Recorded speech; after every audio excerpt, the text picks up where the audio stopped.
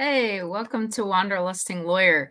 I am continuing my exploration with StreamYard, and today we'll be trying out a screen share feature, which is pretty crazy after how many years have I been doing YouTube? Six years. I'm trying to finally branch out and get a little bit more advanced in my videos, although I like to think the simplicity is a little bit of the charm. I'm never going to be some crazy, like, good creator, I'm sure, but um, the more information I can bring you guys and in a more streamlined way, that's what I'm hoping to do.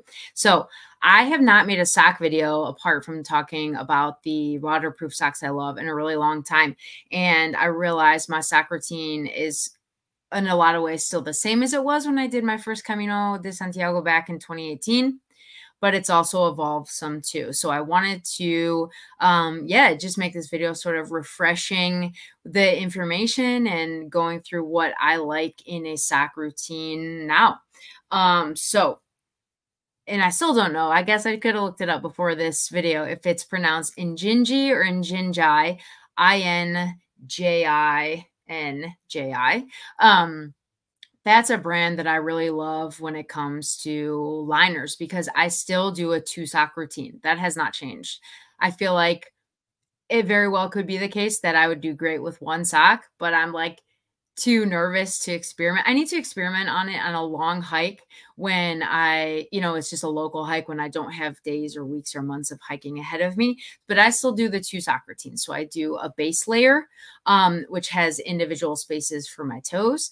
And then I do an outer layer, which um, my base layer in general is not wool. And then the outer layer is wool just to try to keep the feet, uh, try to whip the moisture away and keep the feet cooler. So when I started off, here, let me, this is when I'm going to, uh, first I'll show you and then I'll screen share. So when I started off, I was using Injinji socks or liner socks that are uh, tall. They go up to probably like, not mid calf, like probably where your calf really starts to start. Um, and then I would use like a pretty thick, uh, this one is darn tough. It's still it's still a nice brand. I'd use like a pretty thick hiking uh, merino wool sock over that. And um, for my first Camino, I, I, mean, I think that worked out okay. Like I said, I like I did get blisters a couple weeks in. I think that was a number of factors, and you can check out my truth behind blisters on the Camino de, Santi- de Santiago video if you'd like to know more about that.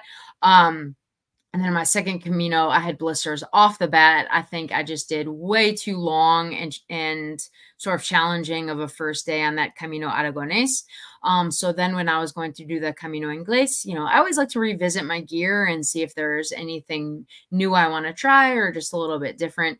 And I was super excited because when I um, was doing my research, I saw that Injinji had a new product. So um, I am going to now share my screen with you so you can see. There we go. So what I saw when I was looking was this women's liner and runner mini crew. Um, and what I loved about it, if it'll pull up, see if it'll cooperate with me here. There's got to be a challenge right when it's your first time. There we go. So pretty reasonable price because it is two socks. They look like they may be sewn together, but they're not. Um, it's actually like the liner here you can see it here. It's the liner and then the outer sock. So two sock system. What I loved about it was this was the first time, and I will show you. This was the first time that Injinji had introduced a mini crew. So this was the liner crew I was using my first Camino, and I don't like socks coming up that high. So what I was doing was actually having to roll it down um, which looked funky, kind of created extra pressure on the ankle. It just wasn't the best system. You see, they have a, a liner wool crew as well. Some people I know only walk in this sock. And if that's a system that works for you or you want to try, that's great. Um, like I said, I just I started with the two sock system, and if you look at the reviews, it doesn't look like they're anywhere near as strong for the liner crew wool. So if anyone's walked in those and can share maybe why that the the people don't enjoy them as much, let us know. Um, but you can see here the liner mini crew. I was super excited because this was exactly kind of high enough on the ankle. Here, I have a pair here. It was high enough on the ankle to, um, there we go. to protect like my Achilles and, and my the front of my foot from like the shoe tongue, uh, the shoe tongue and the heel. Um, here, and I can compare the two. You can kind of see the difference. But I didn't have to roll it down. It was the size I really liked. I mean, that's the height that the the outer layer of wool sock I wear is anyway. So I was excited about that. But this is a new development, um, at least since I walked last June, that they sell it on its own for 11 bucks. I mean, that is a great price in my opinion. They're really high quality socks. Uh, uh, in all my pairs, I maybe have one that has a toe hole. So, you know, they're really high quality. They're long lasting. Um, I usually walk with three pairs of each. So three pairs of liners and three pairs of outer socks, uh, just in case something doesn't dry or I want to change midday. I just, for me, I cannot imagine, you know, a couple ounces of weight saved versus not having clean and dry socks. So that's just my routine, plus the waterproof socks that I bring.